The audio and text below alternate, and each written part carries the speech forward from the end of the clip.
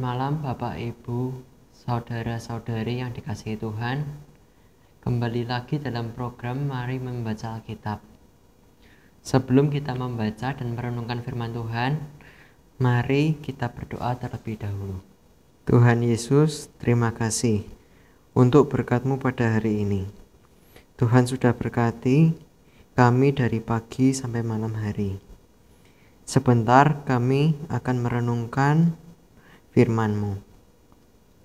Tuhan yang berkati kami supaya kami boleh mengerti dan menjalankan kehendak-Mu. Dalam nama Tuhan Yesus kami berdoa. Amin. Firman yang datang kepada Yeremia daripada firman Tuhan. Bunyinya, berdirilah di pintu gerbang rumah Tuhan. Serukanlah di sana firman ini dan katakanlah, Dengarlah firman Tuhan, hai sekalian orang Yehuda yang masuk melalui semua pintu gerbang ini untuk sujud menyembah kepada Tuhan. Beginilah firman Tuhan semesta alam. Allah Israel. Perbaikilah tingkah langkahmu dan perbuatanmu, maka aku mau diam bersama-sama kamu di tempat ini. Janganlah percaya kepada perkataan dusta yang berbunyi, ini bait Tuhan bait Tuhan, bait Tuhan. Melainkan, jika kamu sungguh-sungguh memperbaiki tingkah langkahmu dan perbuatanmu, jika kamu sungguh-sungguh melaksanakan keadilan di antara kamu masing-masing, tidak menindas orang asing, yatim, dan janda, tidak menumpahkan darah orang yang tak bersalah di tempat ini, dan tidak mengikuti Allah lain yang menjadi kemalanganmu sendiri, maka aku mau diam bersama-sama kamu di tempat ini, di tanah yang telah kuberikan kepada nenek moyangmu, dari dahulu kala sampai selama-lamanya. Tetapi sesungguhnya kamu percaya kepada perkataan dusta yang tidak memberi faedah. Masakan kamu mencuri, membunuh, bersinah, dan bersumpah palsu, membakar korban kepada Baal, dan mengikuti Allah lain yang tidak kamu kenal Kemudian kamu datang berdiri ke hadapanku di rumah yang atasnya namaku. Diserukan sambil berkata, kita selamat supaya dapat pula melakukan segala perbuatan yang keji ini. Sudahkah menjadi sarang penyamun di matamu rumah yang atasnya namaku diserukan ini? Kalau aku, aku sendiri melihat semuanya dengan demikianlah firman Tuhan. Tetapi baiklah pergi dahulu ke tempatku yang di Silo itu, di mana aku membuat namaku diam dahulu, dan lihatlah apa yang telah kulakukan kepadanya karena kejahatan umatku Israel. Maka sekarang, oleh karena kamu telah melakukan segala perbuatan itu juga, demikianlah firman Tuhan dan oleh karena kamu tidak mau mendengarkan, sekalipun aku berbicara kepadamu terus-menerus, dan kamu tidak mau menjawab, sekalipun aku berseru kepadamu. Karena itulah kepada rumah yang atasnya namaku diserukan dan yang kamu andalkan itu. Dan kepada tempat yang telah kuberikan kepadamu dan kepada nenek moyangmu itu, akan kulakukan seperti yang telah kulakukan kepada Silo. Aku akan melemparkan kamu dari hadapanku, seperti semua saudaramu, yakni separ seluruh keturunan Efraim telah kulemparkan. Tetapi engkau janganlah berdoa untuk bangsa ini. Janganlah sampaikan keseruan permohonan dan doa untuk mereka. Dan janganlah desak aku. Sebab aku tidak akan mendengarkan engkau. Tiadakah engkau melihat apa yang dilakukan mereka di kota-kota Yehuda di jalan-jalan Yerusalem? Anak-anak memungut kayu bakar, bapak-bapak menyalakan api, dan perempuan-perempuan meremas adonan untuk membuat penganan persembahan bagi ratu surga. Dan orang mempersembahkan korban curahan kepada Allah lain, dengan maksud menyakiti hatiku. Hatikukah sebenarnya yang mereka sakiti? Demikianlah firman Tuhan. Bukankah hati mereka sendiri sehingga mereka menjadi malu? Sebab itu beginilah firman Tuhan Allah. Sesungguhnya murkaku dan kehangatan amarahku akan tercurah ke tempat ini, ke atas manusia, ke atas hewan, ke atas pohon-pohonan di padang, dan ke atas hasil tanah. Amarah itu akan menyala, menyala, dan tidak padam-padam. Beginilah firman Tuhan semesta alam, Allah Israel. Tambah sajalah korban bakaranmu kepada korban sembelihanmu, dan nikmatilah dagingnya. Sungguh, pada waktu aku membawa nenek moyangmu keluar dari tanah Mesir, aku tidak mengatakan atau memerintahkan kepada mereka sesuatu tentang korban bakaran dan korban sembelihan. Hanya ya, berikut inilah yang telah kuperintahkan kepada mereka. Dengarkanlah suaraku, maka aku akan menjadi Allahmu dan kamu akan menjadi umatku. Dan ikutlah seluruh jalan yang kuperintahkan kepadamu, supaya kamu berbahagia. Tetapi mereka tidak mau mendengarkan, dan tidak mau memberikan perhatian, melainkan mereka mengikuti rancangan-rancangan dan kedegilan hatinya yang jahat. Dan mereka memperlihatkan belakangnya dan bukan mukanya. Dari sejak waktu nenek moyangmu keluar dari tanah Mesir sampai waktu ini, aku mengutus kepada mereka hambaku, para nabi hari demi hari, terus menerus tetapi mereka tidak mau mendengarkan kepadaku dan tidak mau memberi perhatian. Bahkan mereka menegarkan tengkuknya berbuat lebih jahat dari nenek moyang mereka. Sekalipun engkau mengatakan kepada mereka segala perkara ini, mereka tidak akan mendengarkan perkataanmu. Dan sekalipun engkau berseru kepada mereka, mereka tidak akan menjawab engkau. Sebab itu katakanlah kepada mereka, Inilah bangsa yang tidak mau mendengarkan suara Tuhan Allah mereka dan yang tidak mau menerima pengajaran. Ketulusan mereka sudah lenyap, sudah hapus dari mulut mereka. Cukurlah rambut kepalamu dan buanglah. Angkatlah ratapan di atas bukit-bukit gundul, sebab Tuhan telah menolak dan membuang bangsa yang kena murkanya. Sungguh, orang Yehuda telah melakukan apa yang jahat di mataku. Demikianlah firman Tuhan, telah menempatkan dewa-dewa mereka yang menjijikan di rumah yang atasnya namaku. Diserukan ini untuk menajiskannya. Mereka telah mendirikan bukit-bukit pengorbanan yang bernama Tofet di lembah Ben Hinnom untuk membakar anak-anaknya laki-laki dan perempuan suatu hal yang tidak pernah kuperintahkan dan tidak pernah timbul dari dalam hatiku.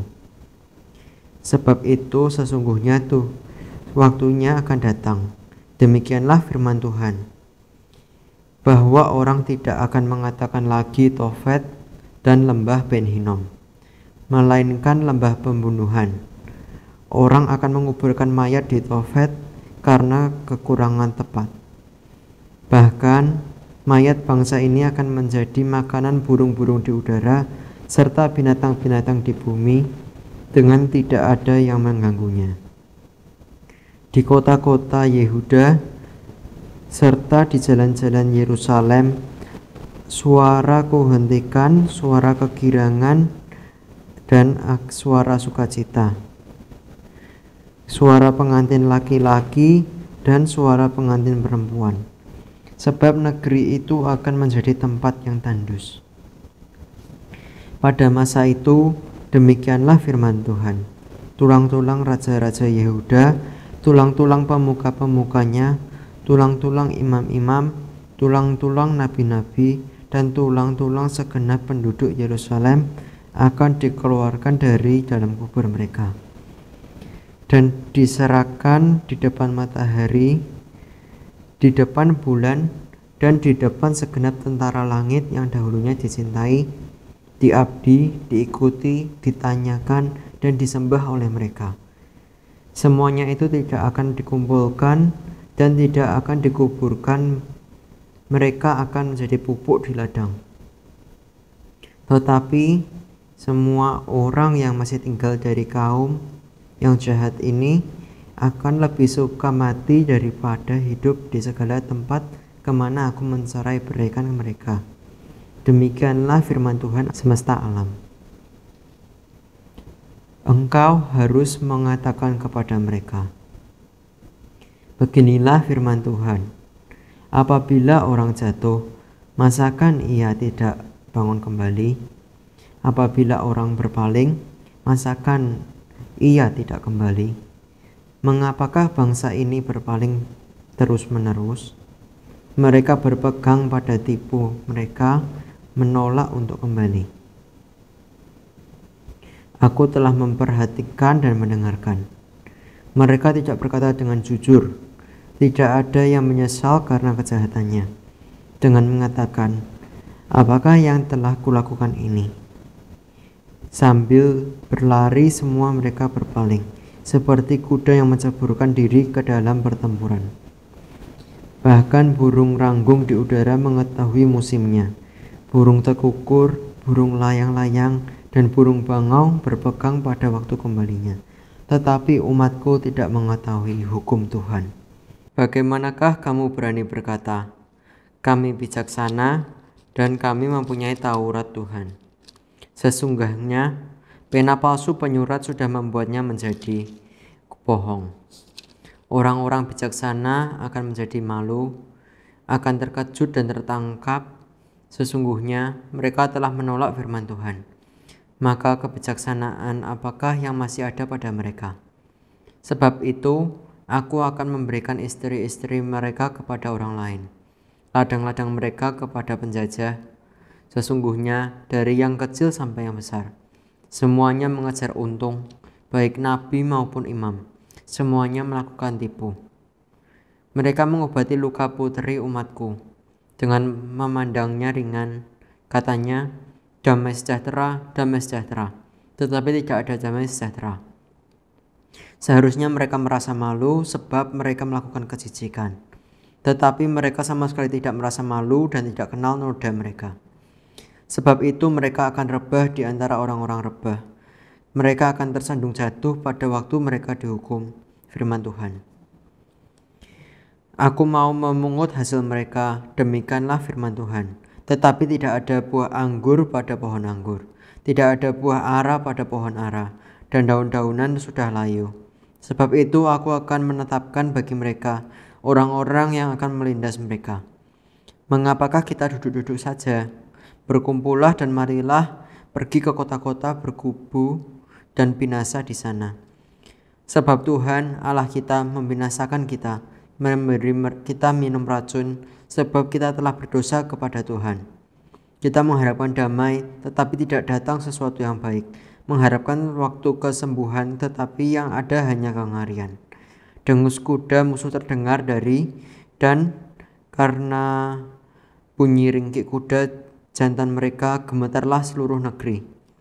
Mereka datang dan memakan habis negeri dan isinya, kota dengan penduduknya.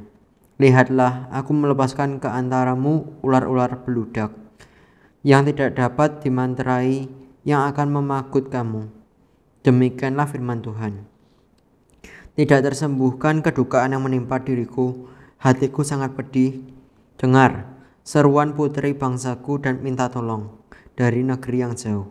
Tidak adakah Tuhan di Sion? Tidak adakah rajanya di dalamnya?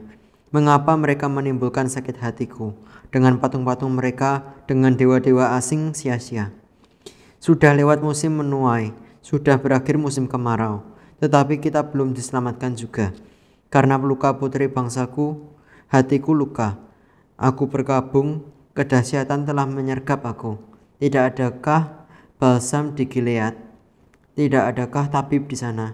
Mengapakah belum datang juga kesembuhan luka putri bangsaku? Sekiranya kepalaku penuh air dan mataku jadi pancuran air mata, maka siang malam aku akan menangisi orang-orang putri bangsaku yang terbunuh.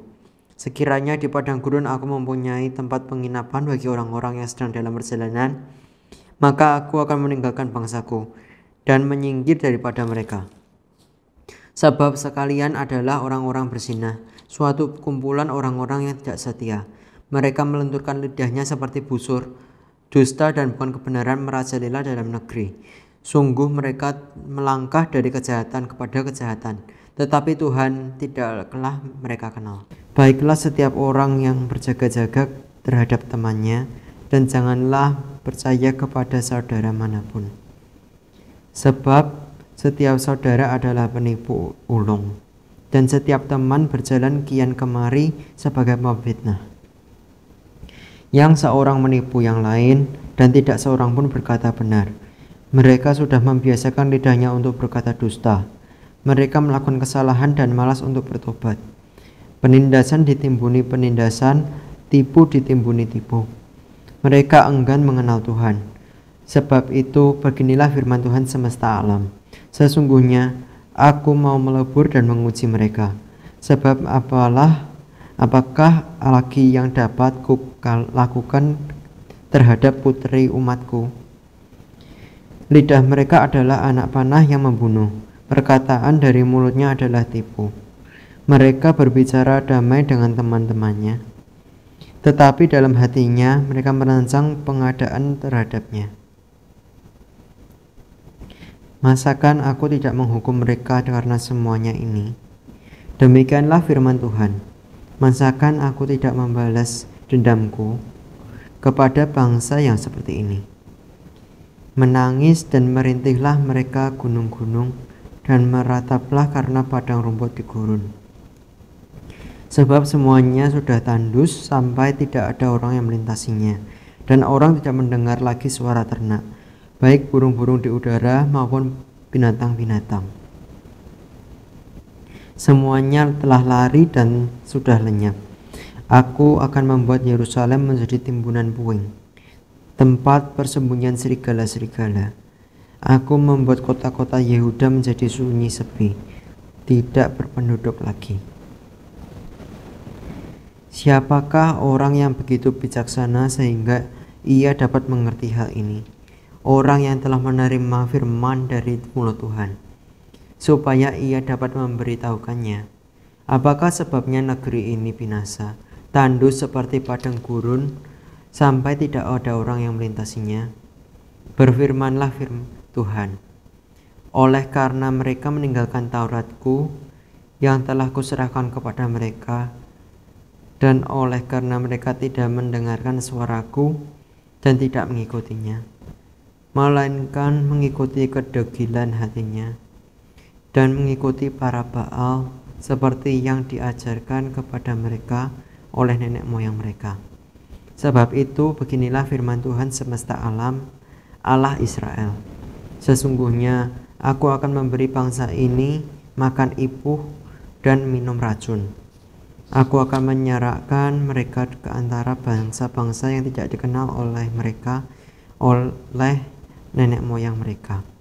Dan aku akan melepas pedang mengejar mereka sampai aku membinasakan mereka. Perhatikanlah, panggillah perempuan-perempuan peratap supaya mereka datang.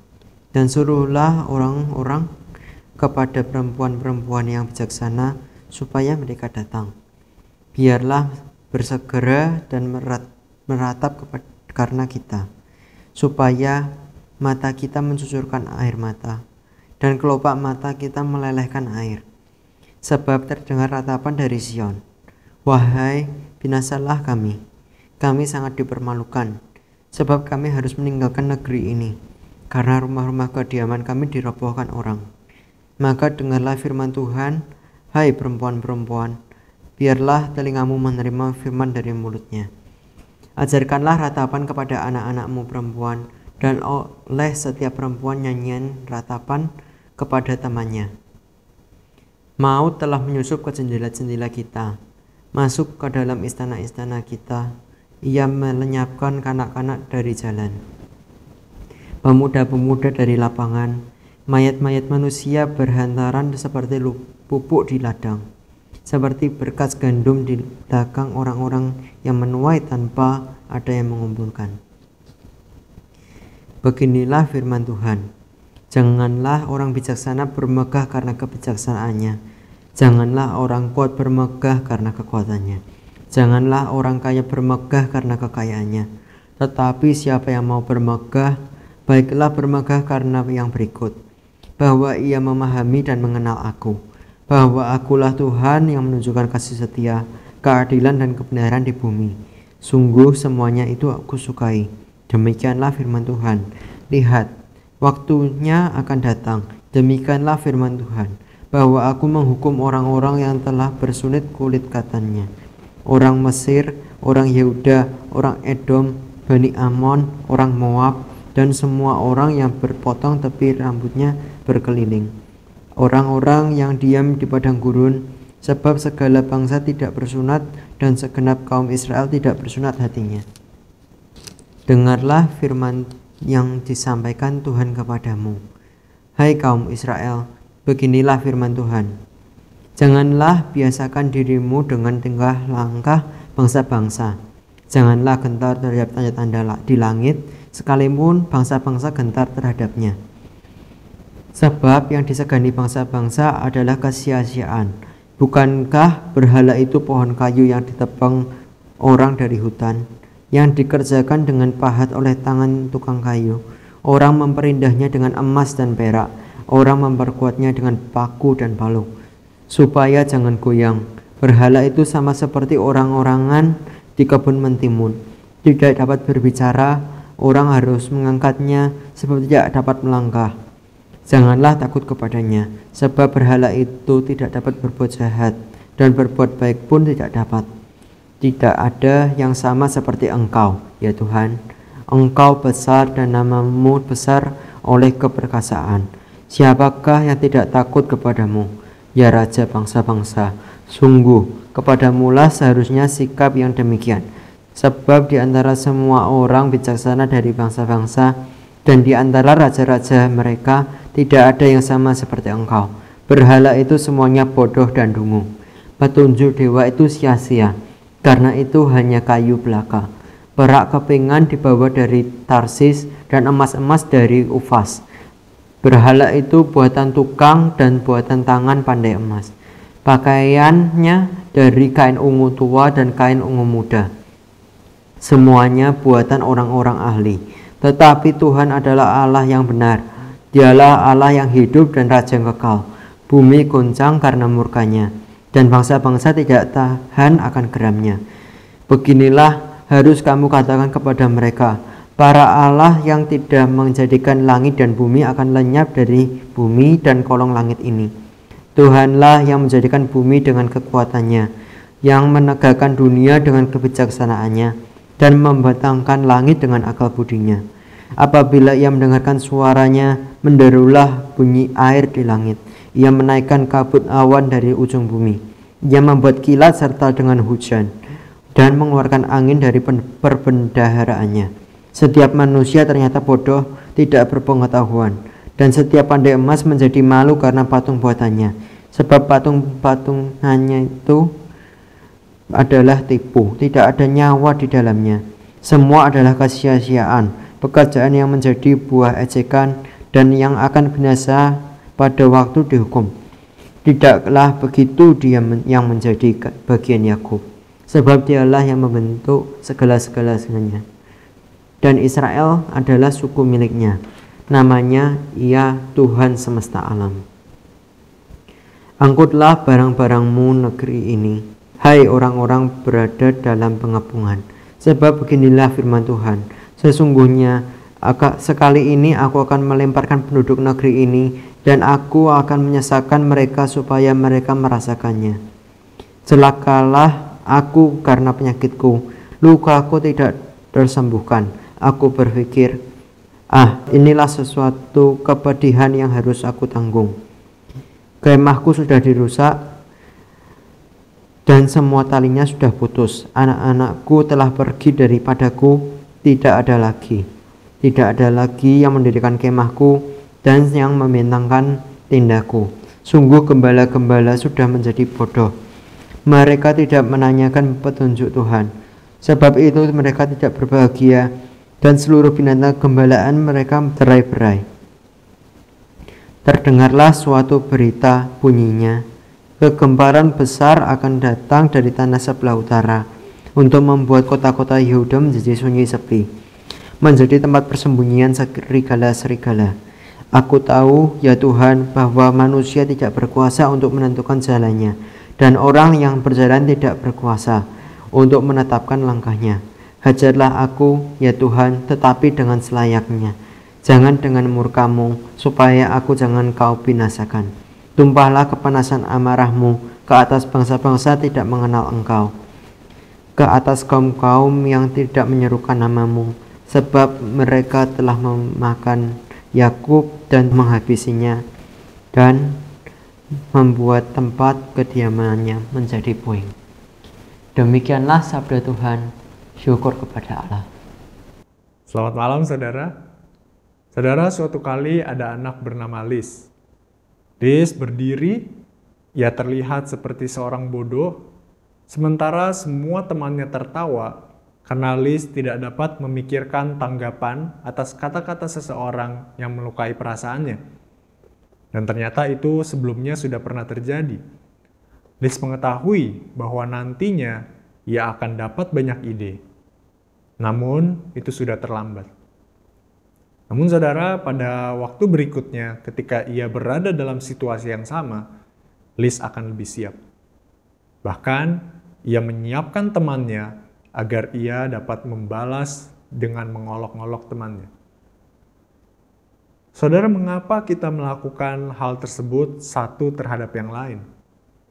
Bukannya kita mencoba untuk membangun satu sama lain, kita malah justru membuang banyak waktu untuk mencari-cari cara yang cerdik dalam menghancurkan satu dengan yang lain. Saudara, inilah yang disebut dengan dosa. Yeremia mengatakan dalam pasal 9 ayat yang ketiga, mereka melenturkan lidahnya seperti busur mereka melangkah dari kejahatan kepada kejahatan. Dan lagi, lidah mereka adalah anak panah yang membunuh. Mereka berbicara damai dengan temannya, tetapi dalam hatinya mereka merancang penghadangan terhadapnya. Saudara, apakah kita mendapati diri kita kadang-kadang menyiapkan perangkap bagi rekan-rekan kita sendiri? Kita mengharapkan ada situasi yang sempurna agar kita dapat menjatuhkan mereka dengan kata-kata kita. Saudara, jika pikiran tersebut terlintas dalam benak kita untuk menyerang orang lain hari ini, ingatlah bahwa Allah lebih menyukai kita menggunakan kata-kata untuk membangun satu dengan yang lain, bukan untuk menjatuhkan satu sama lain. Kiranya Tuhan menolong kita. Amin. Mari kita berdoa. Ya Tuhan, ajarlah kami, tolonglah kami untuk dapat mengendalikan kata-kata kami hari ini dan seterusnya. Kiranya mulut yang Tuhan berikan kami pakai untuk mendorong sesama kami, untuk membangun sesama kami. Ingatkan kami ya Tuhan, ketika kami terpikir untuk menjatuhkan seseorang dengan kata-kata kami. Kiranya Tuhan yang menolong kami. Dalam nama Tuhan Yesus kami berdoa. Amin. Saudara selamat malam, selamat beristirahat, dan Tuhan Yesus memberkati.